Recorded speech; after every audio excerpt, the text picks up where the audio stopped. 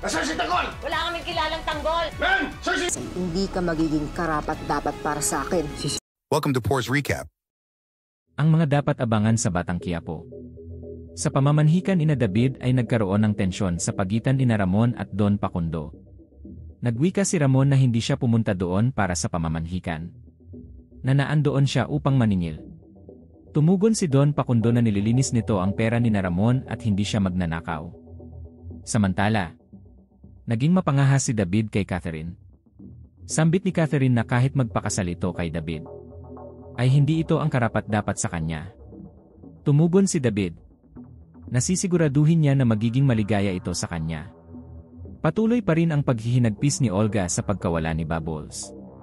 Puot na nagwika ito na hahanapin at papatayin niya kung sino ang pumatay kay Bubbles. Sa labasan ay nakita ni Emong ang pagdating ng mga pulis. Kaagad na pinuntahan ni Emong sinatanggol at sinabi nitong may padating na mga pulis. Tumakas sinatanggol kasama sina Marcelo. Dumaan ang mga ito sa bubong.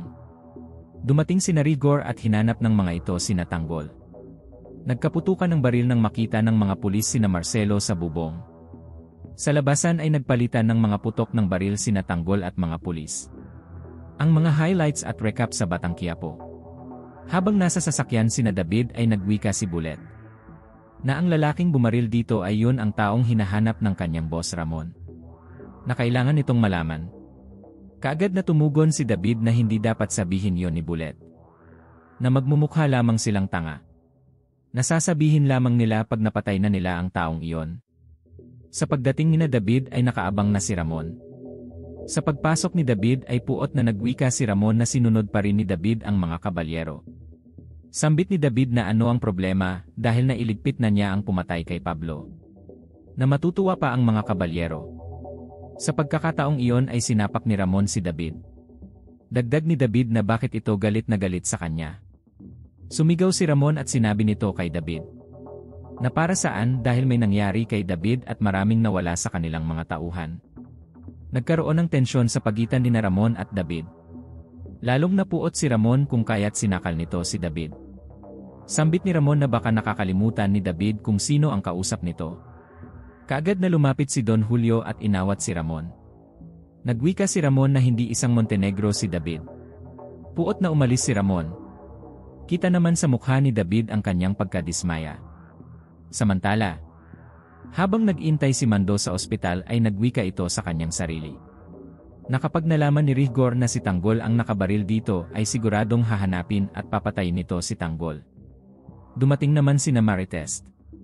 Nagtanong ang doktor kung sino ang asawa ng pasyente, ngunit sabay na sumagot si na Marites at Lena. Napatingin ang doktor sa dalawa. Sambit ng doktor na malaking halaga ang magagastos sa operasyon ni Rigor at kailangan din ng dugo ng pasyente.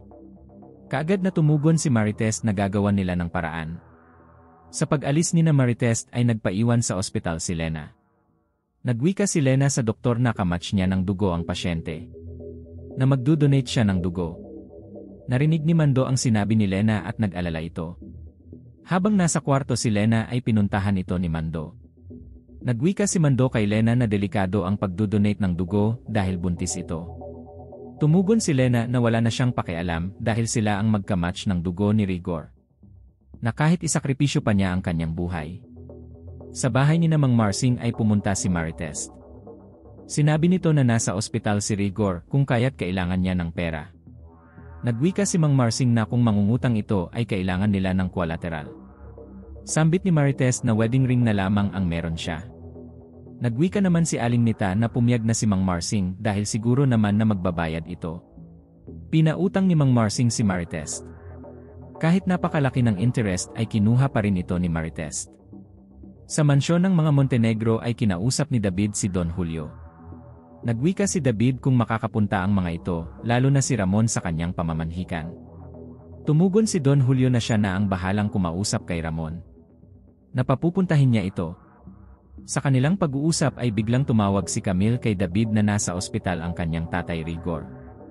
Sa kabilang banda, ibinayad ni Marites ang perang inutang niya kinamang Marsing kahit kulang pa yon. Biglang dumating si David. Kinamusta niya ang kanyang tatay.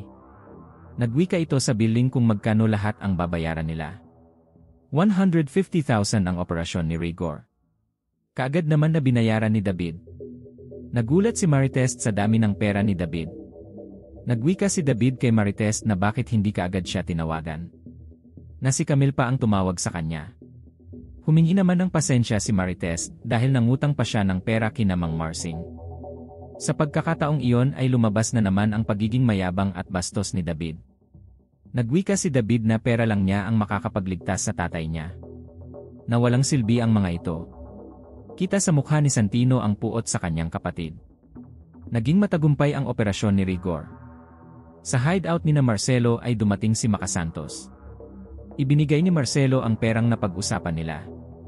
Nagwika si Makasantos na kailangan niya ng trabaho dahil maliit lang ang kinikita niya sa Nse. Na kung nasaan ang pera ay naandoon siya. Napatawa si Marcelo sa sinabi ni Makasantos. Sambit ni Marcelo na tamang-tama ang pagdating nito dahil parating na sinatanggol at magsisimula na silang magtrabaho. Dumating sina Primo at ang grupo nito. Nagwika si Marcelo kung bakit kulang ang mga ito. Na nasaan sina Tanggol at Mayor. Nagwika si Mang Berting na nagpaalam si Mang Celso na pupuntahan nito ang kanyang pamilya. Kasama si Tanggol sa sityo Sandingan. Galit na nagwika si Marcelo na bakit pinayagan ng mga ito.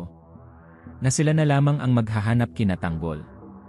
Samantala, inayos na ang burol ni na Mang Celso at Bubbles. Habang binubuksan ni Tanggol ang kabaong ni Bubbles, ay hindi nito napigilan ang kanyang pag-iyak. Napuno ng paghihinagpis si Tanggol. Pinagmamasdan niya ang mukha ni Bubbles at patuloy na dumaloy ang mga luha nito. Sa kabilang banda, sa pagpunta ni Olga sa bahay ni na Bubbles ay nag-alala ito dahil maraming nakaburol sa bahay na dinadaanan niya. Nakita niya si Emong sa labas. Tinanong ni Olga kay Emong si Bubbles. Ngunit hindi nakasagot si Emong. Nagmamadaling pumasok si Olga sa bahay. Nakita niya ang kabaong ni Bubbles. Halos panawan ng ulirat si Olga at hindi na nito napigilan ang kanyang pagsigaw. Napayakap siya sa kabaong ni Bubbles at walang humpay ang kanyang pag-iyak. Napuno ng puot at paghihinagpis si Olga. Hinanap ni Olga si Tanggol. Itinuro ni Lola na nasa labas ito. Sa labasan ay dumating si Namando at Marcelo. Napagtanungan ng mga ito si Emong. Sinabi ni Emong na si Tanggol na lang ang maabutan nila dahil wala na si Namang Celso at Bubbles. Nagulat naman si na Marcelo sa nangyari. Nakiramay si na Marcelo sa pamilya ni na Bubbles. Habang pinagmamasdan ni Marcelo si Bubbles, ay nagwika ito na sayang si Bubbles dahil napakabata pa nito. Na marami pa sanang magandang kinabukasan para dito. Nagulat si na Marcelo sa sigaw ni Olga sa labas. Sinugod ni Olga si Tanggol at pinaghahampas ito. Puot na nagwika si Olga. Na si Tanggol ang pumatay sa kanyang anak na sana ay mamatay na ito. Pinigilan ni Tanggol si Olga. Sambit nito na hindi lang ito ang namatayan kundi pati siya dahil kaibigan niya si Bubbles at mahal niya ito. Nangako si Tanggol kay Olga na hahanapin niya ang taong gumawa noon kay Bubbles. Sa pag-alis ni Olga ay napatingin ito kay Marcelo. Sa paglalakad ni Olga sa labasan ay patuloy pa rin ang kanyang pag-iyak. At pagdadalamhati. Ngunit sa pagkakataong iyon ay nangibabaw ang kanyang puot kay Tanggol. Tumawag ito sa mga pulis upang ipagbigay alam na nakita niya ang mga pugante sa sityo Sangbigan. Sa paglalaban muli ni Natanggol at Rigor sino na naman ang mananalo. Ano ang mga plano ni Olga ngayong wala na si Bubbles? Abangan pa natin guys ang mga next episode sa Batang Quiapo. Mabuhay at salamat po.